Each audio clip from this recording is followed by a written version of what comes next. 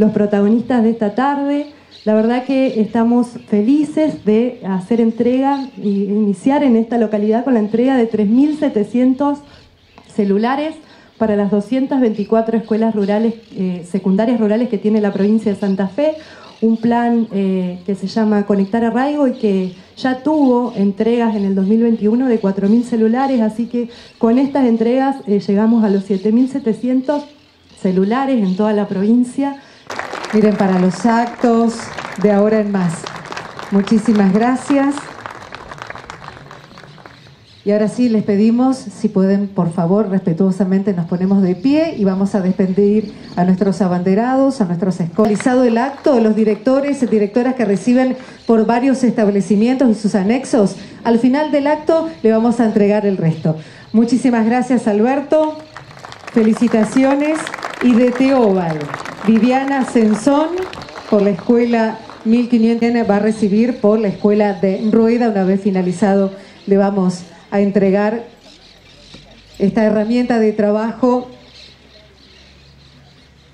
a Viviana Sensón, directora de Teobal, de la Escuela 1586, y también luego le vamos a entregar por Lejón Mirta Gambini. Un aplauso para ella. El saludo de las autoridades. Y ahora vamos a invitar a Leonel Escasia, que también recibe por varias instituciones. Le vamos a entregar ahora eh, eh, este bolso con las herramientas, por supuesto.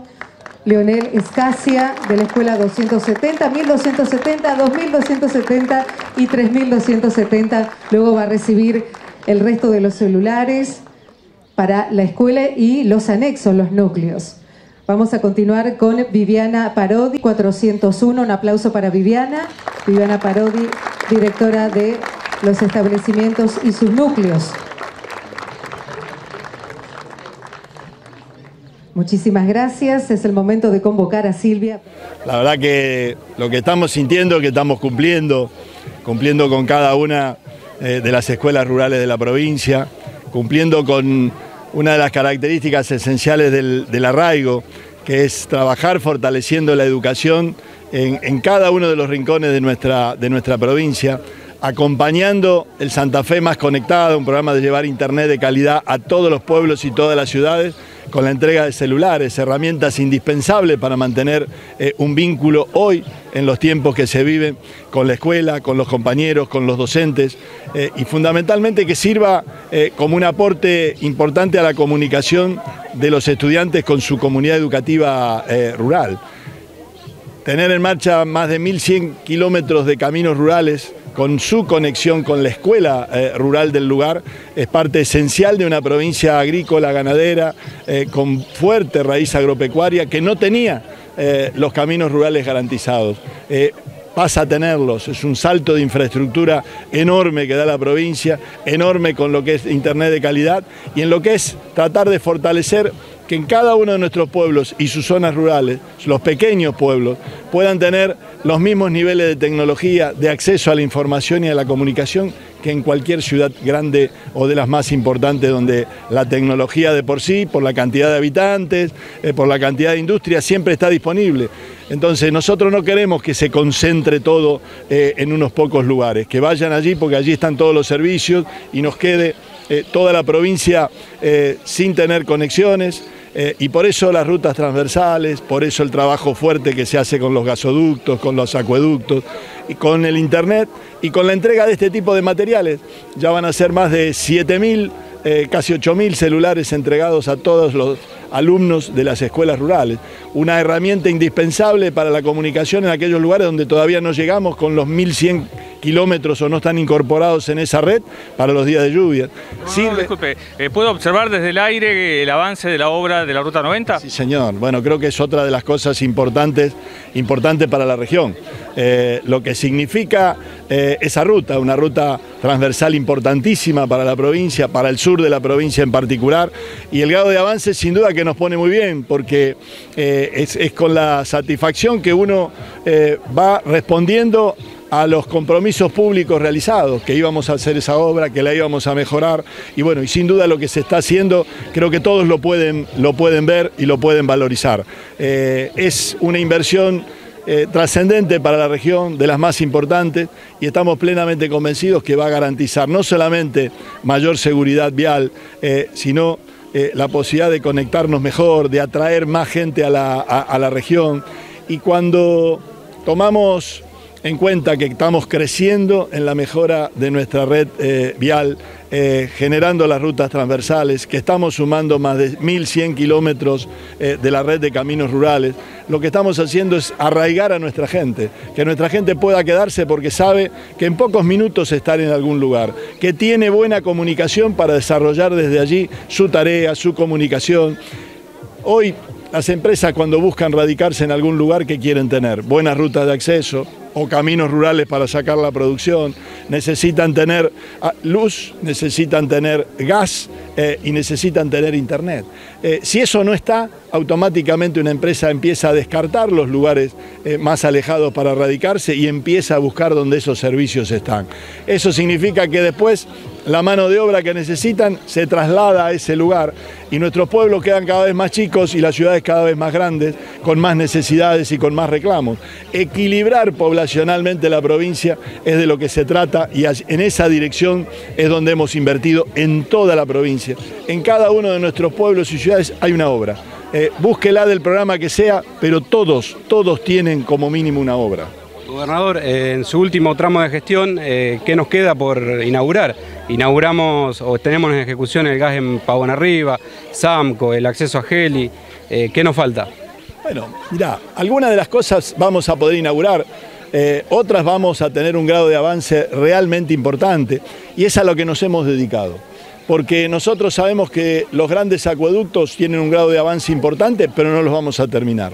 Eh, los gasoductos tienen un grado importante de avance, seguramente el de Pavón es el que más eh, cercano está para, hacerlo, el resto no lo hacemos, pero ¿saben qué? Demasiados años sin que se hagan. Volvimos a licitar gas después de 40 años en la provincia de Santa Fe. ¿Por qué no se hacen estas obras? ¿Por qué no se hacían estas obras? En política lamentablemente se instaló que las obras que, no se ven, aquellas que se, que se entierran y se tapan, como son los caños de agua, como son los caños de gas, no hay que hacerlas porque la gente no las ve.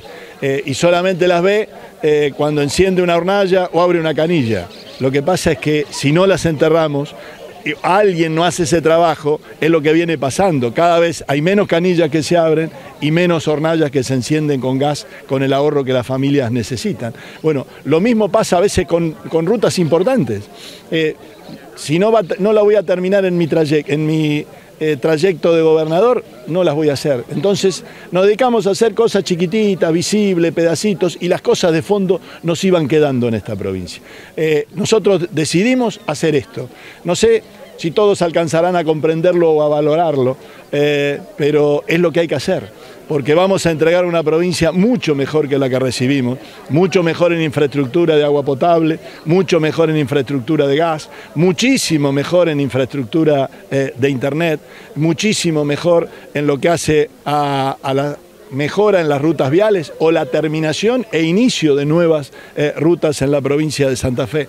Ese piso más alto es lo que Cumplimos con lo que habíamos dicho, vamos a entregar una provincia mucho mejor que la que recibimos y el deseo que uno tiene siempre, que el que venga la entregue mejor todavía. Es la forma en la que, en, la que una provincia, una ciudad eh, o un pueblo crece.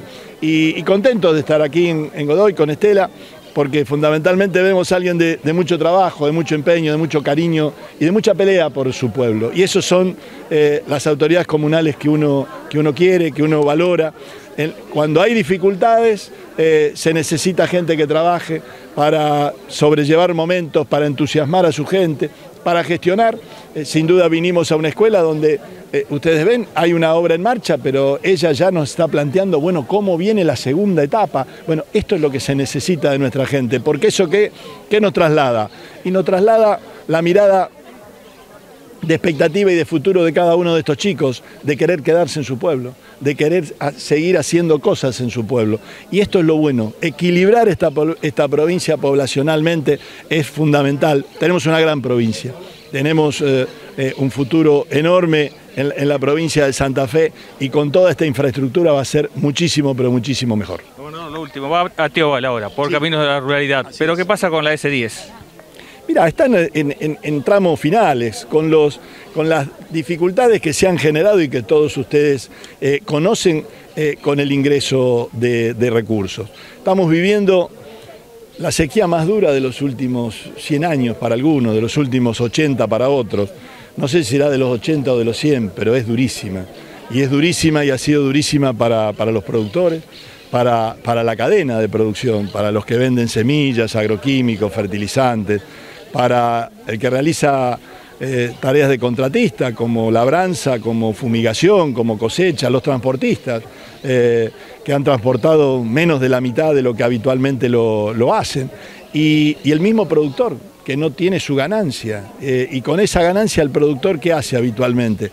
Y cambia o incorpora una maquinaria agrícola, eh, compra eh, un vehículo, lo renueva, arregla una casa, invierte en, alguna otra actividad. Bueno, todo eso no lo tenemos en la provincia. 10.000 productores en emergencia, con lo cual ahí hay un flujo de recursos que no está, con lo cual nos lleva a que algunas obras estén en un ritmo más lento. Pero es una obra que, que se va a terminar por el grado de, interés y, de importancia que le hemos trascendido. Y vamos a dejar eh, los recursos necesarios para que cada una de esas obras eh, continúe, que es nuestra preocupación eh, central desde el primer momento. No pusimos en marcha ninguna obra que no tenga garantizado las posibilidades de pago.